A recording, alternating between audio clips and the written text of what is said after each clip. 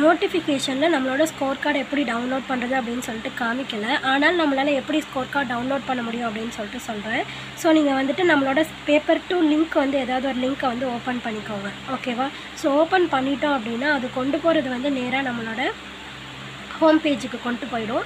So home பேஜில் பார்த்தோம் அப்படின்னா அக்கௌண்ட் யூசர் லாகின் அப்படின்னு சொல்லிட்டு இருக்குல்ல. ஸோ நீங்கள் அதை கிளிக் பண்ணிக்கோங்க.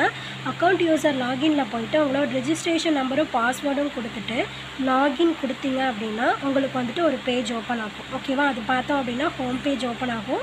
அதில் நீங்கள் வந்துட்டு டேஷ்போர்டை வந்து கிளிக் பண்ணுங்கள் ஸோ டேஷ்போர்ட் கிளிக் பண்ணிங்க அப்படின்னா உங்களுக்கு வந்துட்டு இப்போ இந்த மாதிரி வந்து காமிச்சிடும் இதில் வந்து பார்த்தோம் அப்படின்னா நம்மளோட அலாட்மெண்ட் டிஸ்ட்ரிக்ட் எக்ஸாமினேஷன் சென்டர் அதுக்கப்புறம் click here to download your score card இருக்குல்ல?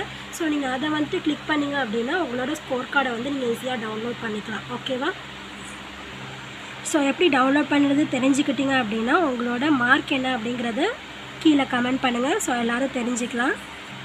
நீங்கள் குவாலிஃபைடா இல்லையா அப்படிங்கிறதையும் சேர்த்து கமெண்ட் பண்ணுங்கள் ஓகேவா தேங்க்யூ